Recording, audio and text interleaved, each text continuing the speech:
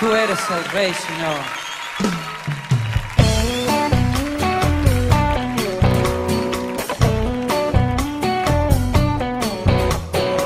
única razón de mi adoración, eres tú, mi Jesús, único motivo para vivir.